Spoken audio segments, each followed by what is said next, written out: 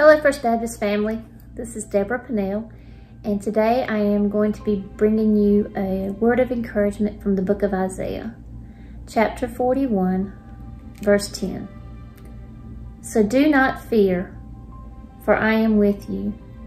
You do not be dismayed, for I am your God. I will strengthen you and help you. I will uphold you with my righteous right hand. I first used this scripture um, in my message that I shared on Ladies' Day when I gave a testimony and my message, uh, the message was titled Fear Not. And at the time, my biggest fear was just public speaking. But since then, this verse has come up time and time again over the past few months with all the new fears that have been added to my life. Uh, pandemic, who knew? Uh, isolation, uh, public distancing, social distancing, I should say, and food in the grocery stores, the prices and the lack of, and toilet paper. and where would you find it? And just so much unknown. Like things that we've never experienced before and everybody feeling the same thing at once. Um, nobody really knowing how to handle it or what to do or what was going to happen next. And the economy taking a hit and then in the midst of all of that, the public outcry with the social justice and the race relations and the riots and the protests and just a lot of turmoil and a lot of fearful things. We have every right to be afraid because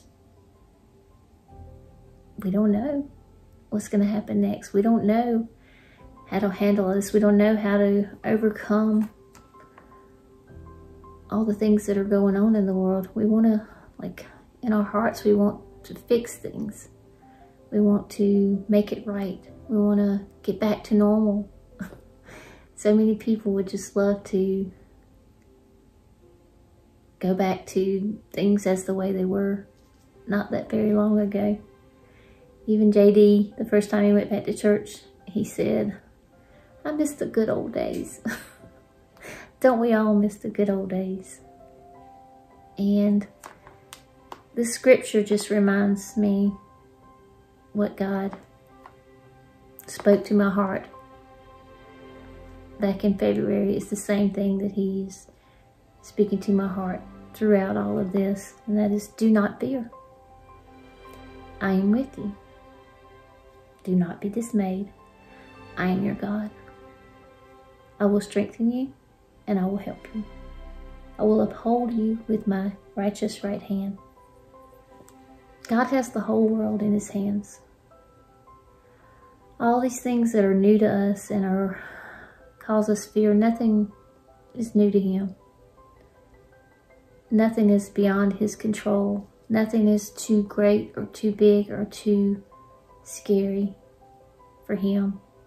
We have a Father who holds our hand when we're afraid, who speaks life to our souls through his words when we are overwhelmed. We have a safe place to go into his arms. Um, when we're weak, he is strong. And when the world seems out of control if you walk outside and hear the birds chirping or you hear the wind blowing through the trees or see a dragonfly or just the blue skies, the clouds floating. The world's still right when you're outdoors and when the TV's off and the social media is off and there's just quiet. There's just you and there's just God and there's just His Word. Those are the times that we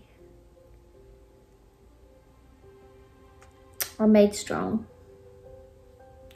The times that we are held in His arms is when we take time to be in His presence and be at peace, be still. So today I just want to encourage you to not be afraid.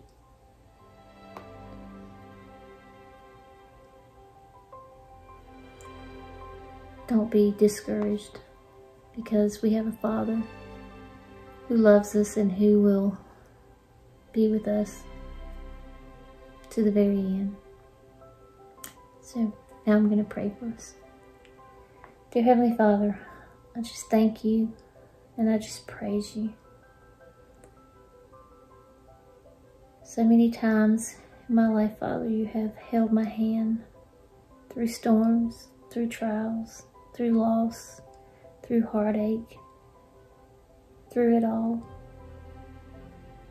You have been my God and my Father. And I am just forever grateful. And I just ask you to be with all those who are hurting this week, Father, who are afraid, who are struggling. Just comfort them, love them, hold them in your mighty, righteous right hand. In Jesus' name I pray. Amen. Thanks.